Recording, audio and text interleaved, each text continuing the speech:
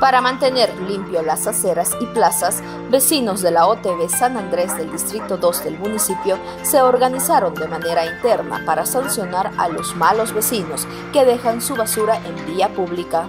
Y en su conjunto solicitar nuevamente a que tomen esta actitud, las OTBs como directivas, etcétera, se, se puedan organizar de tal manera que con los vecinos puedan tomar esta iniciativa y entre todos poner nuestro granito de arena y colaborar para que la ciudad vuelva a ser la ciudad jardín y no un basurero que nosotros mismos estamos propiciando, dejando de mala forma la, basura en las esquinas, dejando en parques, dejando en canchas de, de, fútbol, etcétera. Para eso tenemos contenedores, tenemos puntos verdes y el carro basurero que pasa pasado un día por cada una de las OTBs, entonces solicitamos nuevamente de que este depongan esta mala actitud y depositen la basura en el carro basurero, no en las esquinas.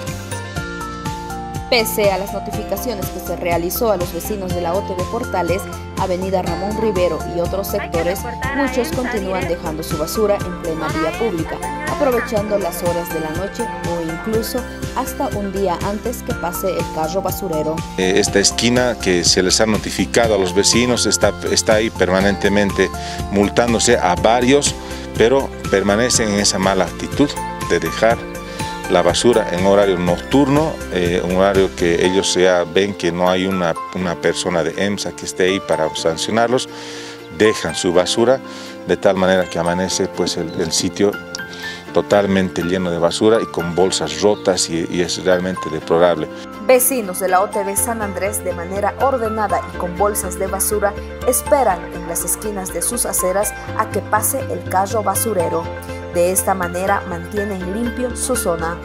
Eso dijimos en una reunión de directorio, que los que no vayan sus aceras lo dejan basuras. Una vez yo dejé aquí porque uno de los empleados vio que yo estaba recogiendo la basura y déjelo nomás ahí.